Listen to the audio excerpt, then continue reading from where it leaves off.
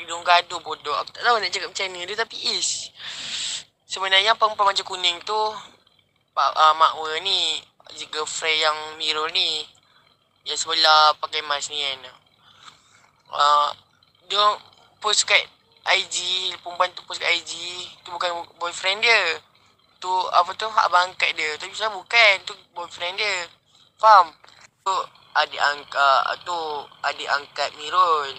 Ha, dia fa- salah faham, faham, salah faham. Satu uh, cik gaduh tu. Baju kuning tu bodoh setan. Lagi pasal ni tau, serius. Lelaki tu tak ada buat salah.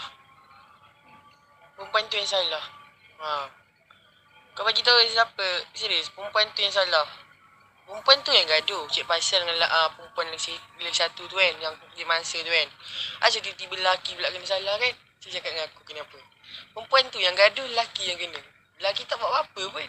Tak tahulah apa masalahnya sampai teruk sekali macam ni dengan cerita disebabkan seorang lelaki. Aku cubalah nasihat baik-baik tapi minta maaf cakap kalau terkasar. Sebab benda ni tak selesai. Dari dulu sampai sekarang, perempuan bergaduh bully disebabkan lelaki. Lelaki gaduh disebabkan perempuan. Cubalah otak tu jangan letak dekat lutut. Ini tak disebabkan perempuan jadi bodoh. Disebabkan lelaki jadi bodoh. Bukan nak marah tapi benda ni serius. Buanglah perangai tu jauh-jauh. Kau sanggup bully member. Last-last kena tinggal juga dengan lelaki tu. Dah lah tu.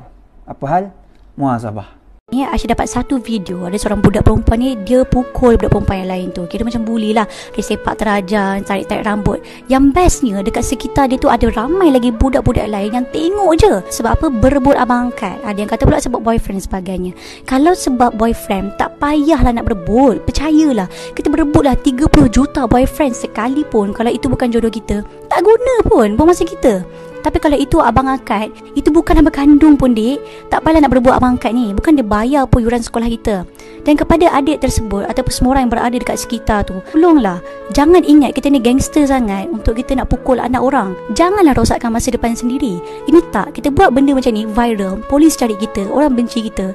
Tak senang masa depan kita. Jangan buat benda-benda bodoh. Hidup kita ni panjang lagi. Jangan buat benda tak pakai otak. Okay, kalau itu anak Jodante Dah mati dah kau dek